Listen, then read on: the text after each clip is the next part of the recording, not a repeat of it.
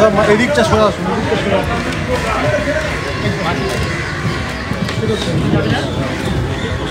এদিকটা আসুন এদিকে আসুন এদিকে চেপে।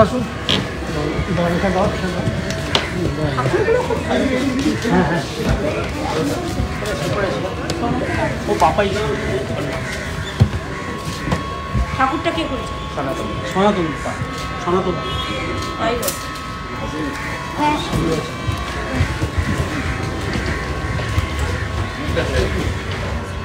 সব দিকে চলে আসুন সব দিকে চলে আসুন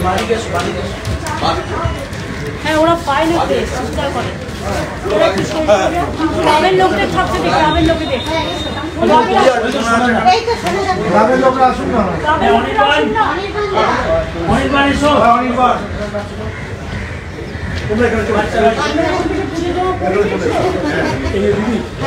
তিন বছর বয়সে দেখেছিলাম তেরো বছর? এই যে সুব্রত ডাইনোসর চলে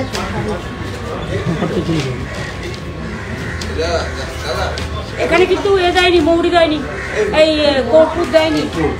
ঠিক আছে আমি তেলটা ঢেলে দিচ্ছি।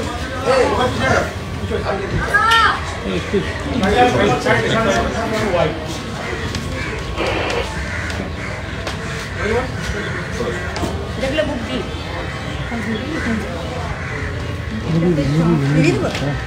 ঠাকুরটা ভীষণ ভালো হয়েছে এবং ড্রেসটাও খুব মানানসই।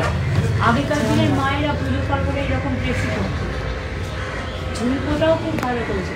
করে কাপড়ের নকল করে।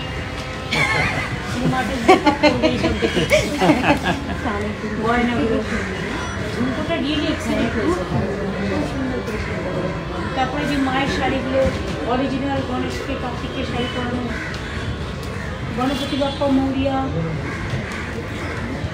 খুব ভালো সেনকোকে ডাকলে, অঞ্জলিকে ডাকলে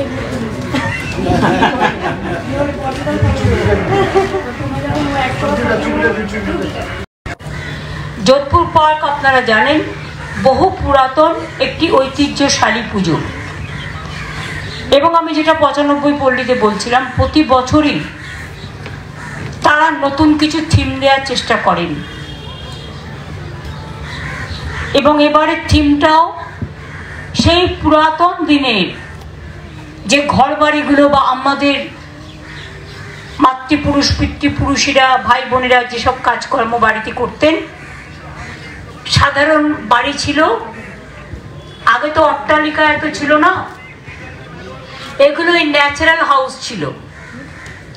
কেউ চুলাচ রাখছেন লাইভ শো যেটা টেলিভিশন চ্যানেলের কথা আপনারা বলেন লাইভ শো কেউ বসে জাল বুনছেন।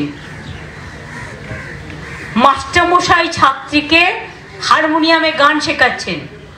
কি গান শেখাচ্ছেন? সারে গামা পা ধা নি সা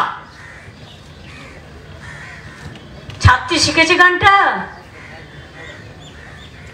কতটুকু শিখেছে? সারে গামা পা রেগা মাপা ধা। গামা পাধানি মাপা ধানি সা। পুরো তুলিয়ে দিন। এবং জামা কাপড় মেলছেন। এই যে, এটা একটা সৃষ্টি, ভাবনা। চিন্তা থেকে এসছে। তারপর ওই যে একটা ছোট্ট খাবার দোকান। খাবার দোকানে কি কি আছে? মানে তেলে ভাজা।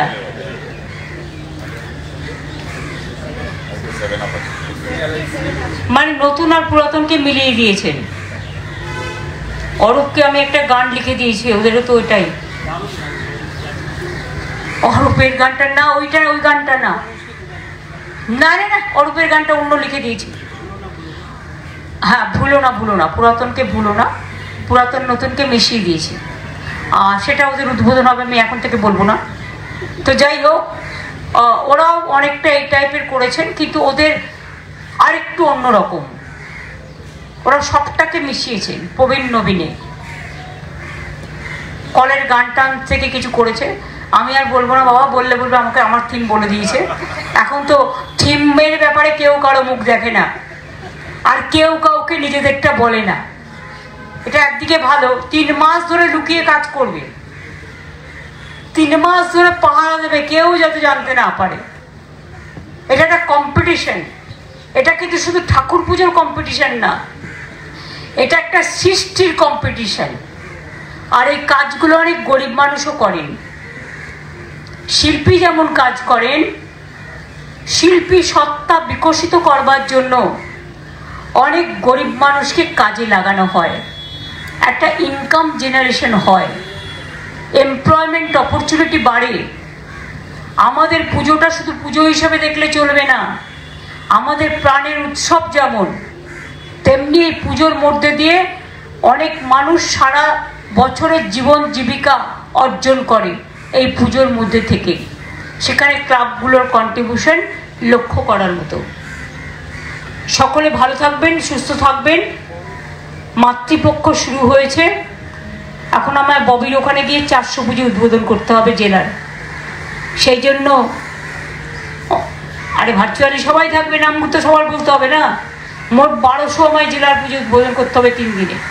সুতরাং এসব আমায় করতে হবে। আজ আবার নটায় গ্রহণ লাগছে সূর্যগ্রহণ নিয়মকানুন তো আমাদের একটু মানতে টানতে হয় নটা তেরোতে লাগবে সূর্যগ্রহণ আর রাত্রির তিনটে সতেরোই ছাড়বে।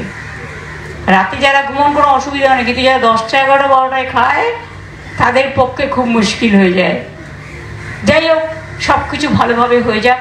আমরা চাই শান্তি, স্বস্তি, শক্তি, ভক্তি, মা সবাইকে সংকট থেকে মুক্তি দিন। ভালো থাকুন। আপনাদের পুজো খুব ভালো হয়েছে। আশা করি আবার দেখা হবে।